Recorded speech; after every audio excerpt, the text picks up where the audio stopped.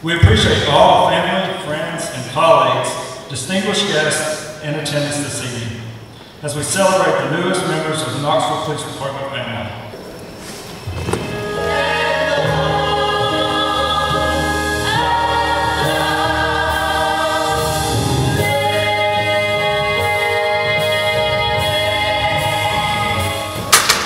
We have a lot to celebrate this afternoon. We now have the skills, training, tools, and these newest officers are about to take the oath.